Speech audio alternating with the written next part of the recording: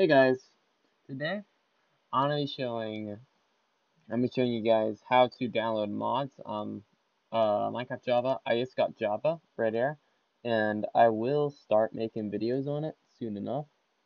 But um, yeah, I'm gonna show you guys how to install mods like Optifine and like basic quality of life or more advanced mods if you want them.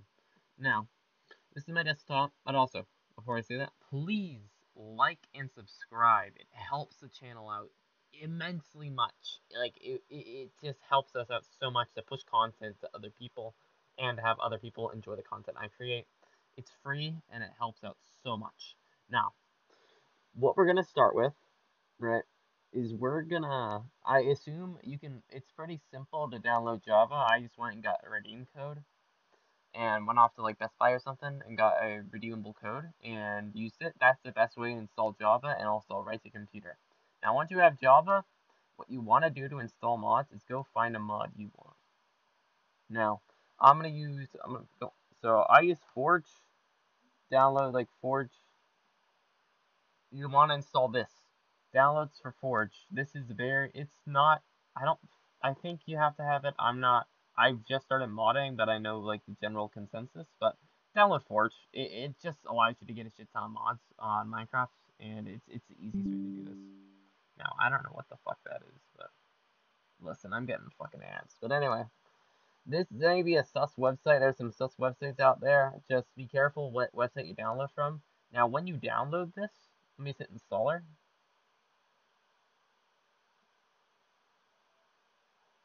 Now, once you'll get to this Fire Player screen, usually.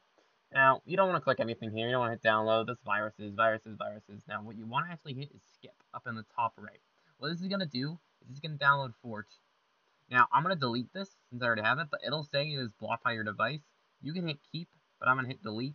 Now, once you hit keep, what you want to do then is go to Windows R, enter, and you want to enter like app data, or it could do percentage app data, but app data is easier. Hit enter for app data, and then you get brought to this screen.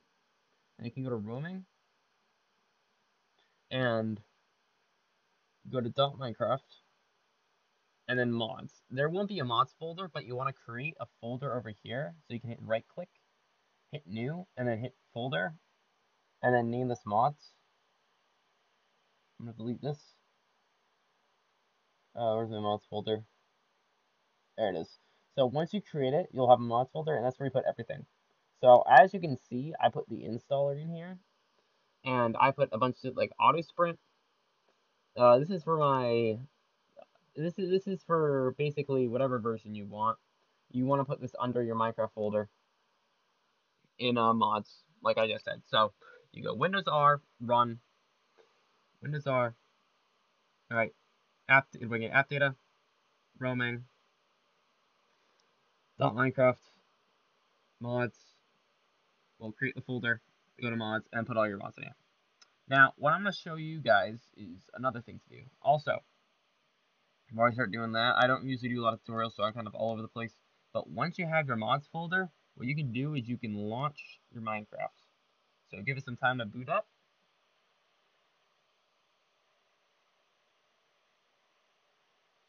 And you'll be brought to here. Now, what you want to do is you want to go up to, before you hit play, don't hit play yet. Don't get too excited. We're going to hit installations. And now I have a bunch of installations here. Vivecraft doesn't really work, so what I'm actually going to do, you can delete your stuff off the thing. Now, once you hit Forge, you should get something like this. I tend to not use this, but you can use it if you want. And once you use mods, Forge will kind of know what version you're launching it from. So if you want to get, like, whatever mods you want to get, like 1.18, so I'm going to use my 1.8.9 as an example you create an installation. You name it whatever you want. I gave it a custom icon and everything. And now you don't mess up anything of this. You want to use this. You'll get release forge, whatever, whatever. You hit enter that, and you hit save. And you have your thing. Now I have a separate one, which is a more in-depth thing. But this is the easiest way I did it. Now, I'm not going to go full steps like I've done this whole video. I'm giving you a brief explanation on this. But basically what you want to do is once, if you want to have a separate directory. Do not make multiple files in the same thing. I almost closed my recording. but uh, don't make multiple files in the same thing. That just makes a mess and it'll fuck up your game. it'll crash it, it'll do all sorts of shit. So don't do that. I learned that the hard way, and I had to work on Minecraft for about an hour getting it to rerun. But anyway, once you have your Minecraft, what you want to do is you want to take your Minecraft folder, right? So you want to hit Windows R.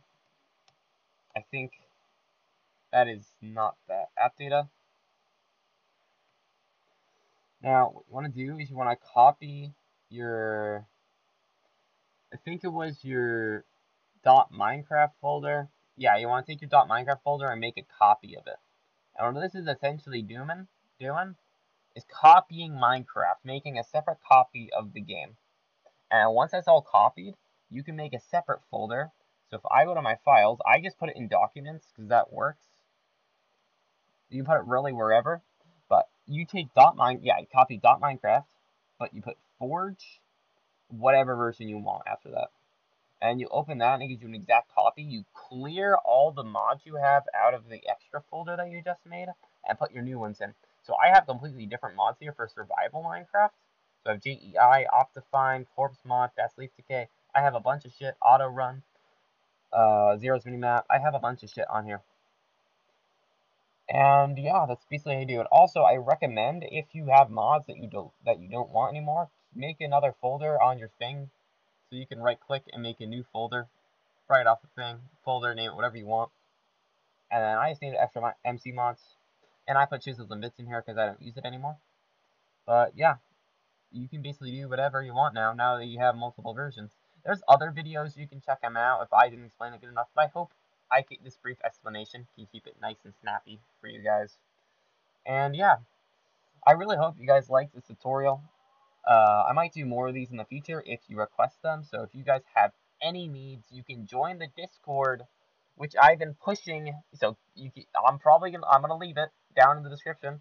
You can join the Discord and talk to me, or you can just leave it in the comments on this video about stuff you need help with and request for me to make tutorials because I'm looking for content to use.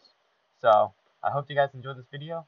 Please hit the like and subscribe button, and I'll see you guys in the next one. Bye.